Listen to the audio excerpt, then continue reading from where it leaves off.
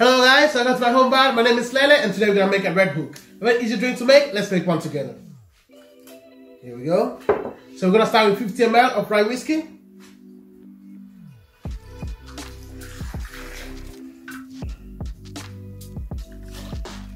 We're gonna add 10 ml of maraschino liqueur. Here we go. 10 ml of sweet vermouth. I'm gonna fill our mixing glass with some ice cubes. There we go.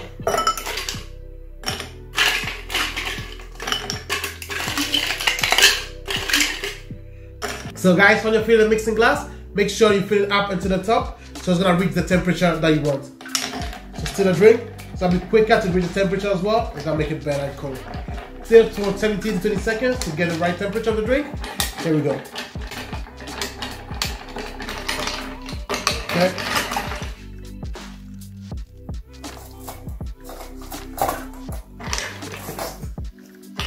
There we go. I'll strain everything into our glass. There we go. Beautiful. So guys, this is a red hook.